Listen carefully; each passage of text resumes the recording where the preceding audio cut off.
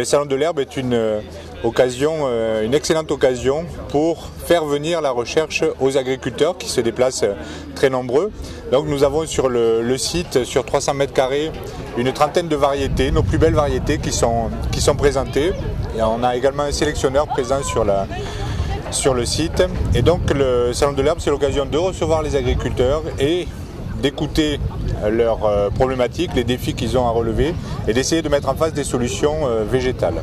Donc on a neuf personnes qui reçoivent les, agriculteurs, qui leur parlent des différentes variétés, de leurs avantages, euh, aussi de leurs limites, avec euh, une présentation de, des plantes euh, sur trois durées de repousse, deux semaines, quatre semaines, six semaines.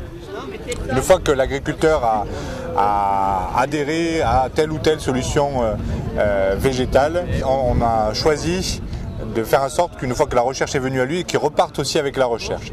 Et donc on a, euh, en plus de, ces micro-parcelles, un espace sur lequel on prépare pour lui des échantillons de semences avec les variétés qu'il a retenues, de manière à ce qu'il puisse regarder le comportement de ces variétés dans son élevage, en situation, sur, sur l'année qui vient, disons, et qu'il puisse donc mieux connaître euh, telle variété, telle espèce dans le contexte de son exploitation.